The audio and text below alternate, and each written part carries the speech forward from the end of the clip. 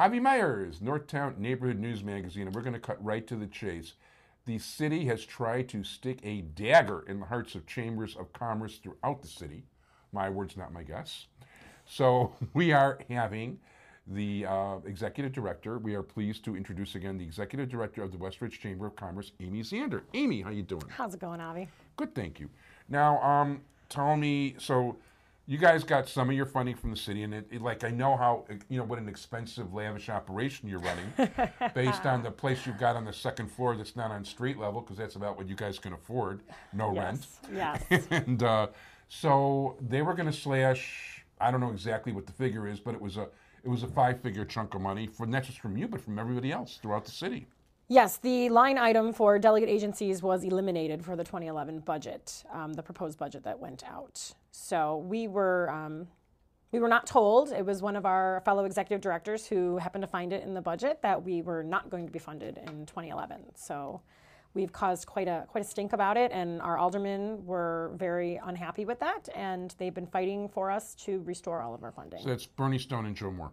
Yes, every actually every all 50 aldermen. Um, we went out and approached. Well, wait a minute. all Do you them. have? Oh yeah, Joe Moore's got part of. Joe Moore has a little tiny part. We don't have a ton of commercial uh, property in Joe Moore's ward, but Yeah, he's east of technically, Western. yeah, east of Western. So technically, in certain places. we serve there, but a little bit of his ward. But Right. So in any event, and, and I and I you know I listen, it's a bipartisan deal. So in any event, um, is there any funding coming? Do you have prospects? Uh, well, what we've been told actually is um, that the city has found us a funding source and that they are going to be restoring our funding levels to the 2010 level. So, with that being said, it hasn't at this point been through city council yet, so we're waiting for that approval before we get too excited that we'll be getting our, our funding back. Um, like you said, it's a small portion of our funding. Uh, everything else the chamber fundraises. So we raise all of our own money through membership dues and events that we hold and seminars. Um, so our city project is one small part of our budget. Yes, Sonny, could you close the door while we st- keep filming? Sure. Okay. So anyway, so where did I'm sorry, where do the other revenues come from? It's all fundraised. So that might be through events that we host, membership dues. Um, this morning we had a, a workshop, so we charge money for uh, people to come in and attend our classes Right, that we, we can't offer. plug that one specifically because we're not supposed to go for money. Now, actually, you're you're um, got a very interesting event coming up. Very interesting event coming Well, actually, up. it'll already have happened by the time we're on the air. Oh, okay, okay. Our uh, candidates forum? Yeah. Yes, uh, we are having a candidates forum here in the 50th. We have quite a number of uh, potential candidates who are running for alderman. You know Uh, what? Maybe I'll maybe I'll put this on before the uh, forum so people can go see Oh, Great, it. great. People are welcome to come and, and check it out. We're focusing primarily on businesses, so the candidates are going to be asked some questions about what their plans are for the business community in West Ridge. We're really looking forward to it.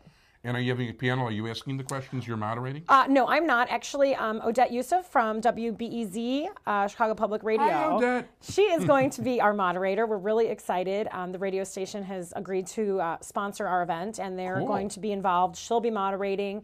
Uh, we'll have questions prepared that we'll be asking all of the candidates, um, including Alderman Stone. And we will also um, allow the audience to have a chance to write out questions that they have, and if we can fit those in, we will as well. Yeah, for those people don't know, you know, I, as a matter of fact, because you mentioned her to call me about um, crime and Devon and all that, because of a caps angle, um, there's like a storefront that says like public radio on it, on Yes. Devon on the south side of the street, and that's like a satellite office for WBEZ. You know, Odette uh, Yousef, I did speak to, um, is one of the people there. She is. We Oh, and really by the way, one thing I didn't mention either, Mark Shipper from the New Star has been sitting in today, and we want to thank him for sitting in. And, and there's a lot of interesting new articles about the neighborhood, and it's worth picking up. At one point in time, it's like it was all press releases that, you know, like I didn't want to even dignify my fish with. But right now, you see fresh articles, you see good writing. So, um, you know, and there was good stuff about caps, there's stuff about the city budget. Mark's doing a very nice job writing. He's not alone there. They're expanding their writing. I saw even the publisher wrote a very interesting story.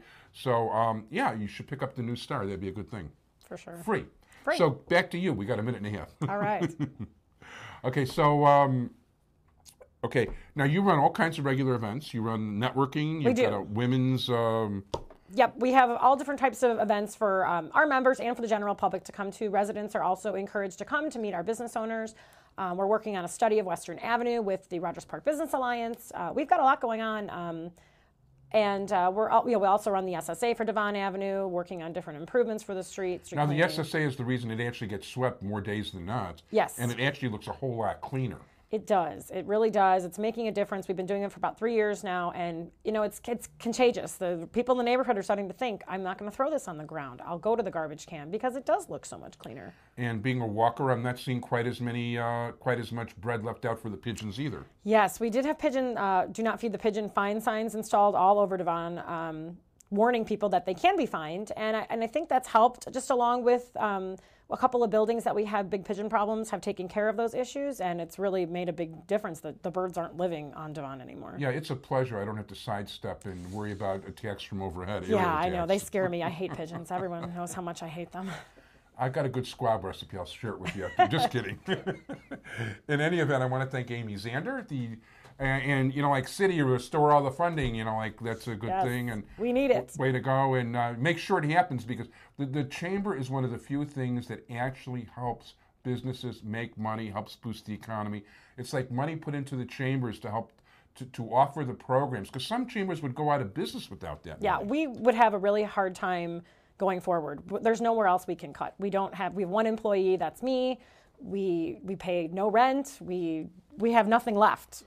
So basically, and this is something that helps the people. and It helps business thrive in a community. It helps people make money, and I mean, there's so many positive benefits. So that's one of the few things the city does that's great. I'm really cutting Joe Pollock's time apart here. Thanks for joining us, everybody. Thanks, Sonny. Thank you, Amie. Thanks, bye bye, everybody.